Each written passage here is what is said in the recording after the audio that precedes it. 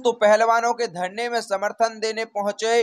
Bhim army chief Chandrashekhar Azad ने प्रधानमंत्री मोदी पर बोला, बड़ा हमला कर दिया है, बड़ा ऐलान। जी हाँ मित्रों, आपको बता दें कि आज भीम आर्मी के चीफ चंद्रशेखर आज़ाद ने भारतीय कुश्ती महासंघ के प्रमुख ब्रजभूषण शरण सिंह के खिलाफ पर दिल्ली के जंतर मंतर में धरने पर बैठे पहलवानों से मुलाकात की।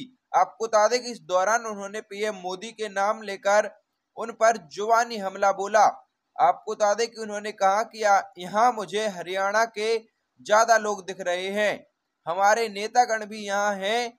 एक दिन ऐसा था जब हरियाणा में बेटियों के लिए उतने अवसर नहीं थे। आज का हरियाणा है जहाँ बेटियों के नाम से हरियाणा की पहचान होती है। मैंने तो देखा ओलंपिक में बेटियाँ मेडल लेकर आई। सारे बेटे कमज़ोर पड़ गए। तब हम खुश हुए और हमने तालियाँ बजाई। हम सेल्फी के लिए घूम रहे थे।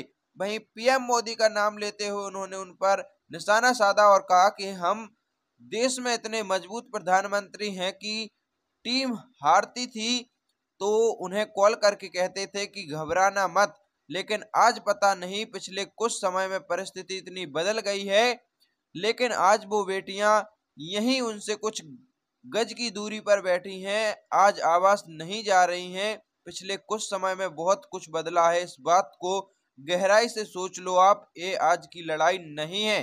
तो ये बड़ी बात है जो चंद्रशेखर आज़ाद ने कहा कि प्रधानमंत्री मोदी के आवास से कुछ ही दूरी दिल्ली मंत्र, दिल्ली के जंतर मंतर पर पहलवान महिलाएँ आपको बता दें कि धरना दे रही हैं। उनका शारीरिक शोषण का वो आरोप लगा रही हैं तो उन्हें न्याय नहीं मिला जा, मिल रहा है। इसी के लिए आज चंद्रशेखर आज़ाद ने उनसे मुलाकात की, उन्हें समर्थन दिया। और ब्रजभूषण शरण सिंह के खिलाफ सख्त से सख्त कार्रवाई करने की मांग की। आपकी क्या राय है? कमेंट करें। धन्यवाद।